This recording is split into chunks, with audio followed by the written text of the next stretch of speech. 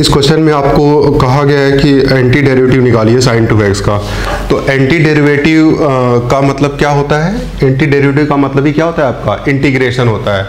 मतलब आपको इंटीग्रेशन करना है साइन टू एक्स का। लेकिन आप तो बिगनिंग लेवल पे हैं। आप सीखना स्टार्ट कर रहे हैं इस क्वेश्चन से। इसलिए ये क्वेश्चन दिया गया है by inspection of the by method of inspection कहा गया है।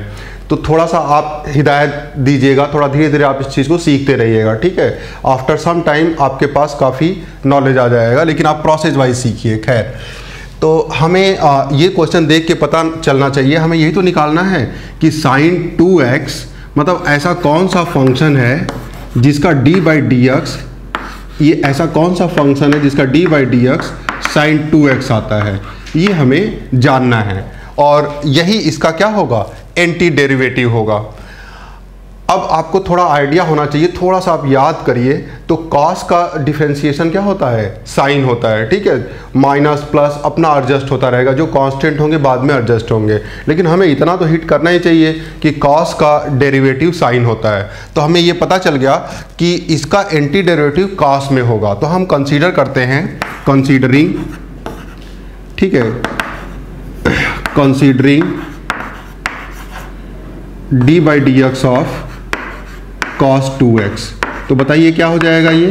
कॉस का यहाँ चेन रूल लगेगा, क्योंकि कॉस टू एक्स का फ़ंक्शन है तो क्या हो जाएगा आपका? माइनस साइन टू एक्स और d by d x of two x ठीक है? और d by d x of two x क्या हो जाएगा आपका?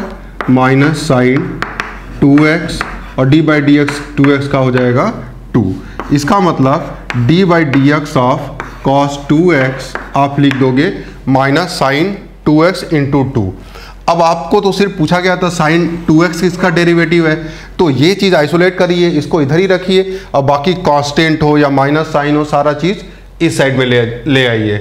आप इस साइड में ले आएँगे, बस अर्थ वो कांस्टेंट हो, ये ध्यान रखिएगा, ठीक है?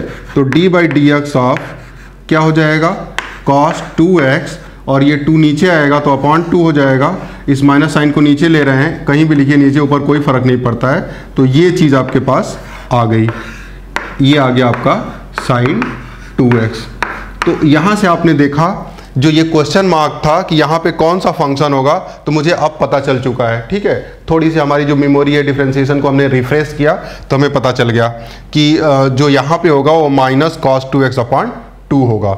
अब यहीं से हम बोल देंगे, इसका मतलब ये हुआ कि जो एंटी डेरिवेटिव होगा साइन टू एक्स का, जो हमसे कुछ क्वेश्चन पूछा गया था कि साइन टू एक्स का एंटी डेरिवेटिव क्या होगा तो हम क्या लिख देंगे? Minus cos two x upon two ठीक है? ये इसका आंसर हो गया। यहाँ डी भी लिखते हैं, ठीक है? दैट इज़ ये ऑपरेटर कंबाइन होकर आता है, इसी तरह से आता है एक्स वहाँ लिखा हुआ, ठीक तो अब ये तो आपका क्वेश्चन कंप्लीट हो गया। अब आप सोचिएगा, ठीक है? आपके लिए क्वेश्चन है, आप कमेंट करिएगा नीचे कि अगर आप डिफरेंट आप इस जानना चाहते हो कि sine a x plus b का एंटी डेरिवेटिव क्या होगा। आप इसका हमने बता दिया। आप इस क्वेश्चन को करिएगा, इसका एंटी डेरिवेटिव क्या होगा, ये आपको क्या करना है? कमेंट बॉक्स में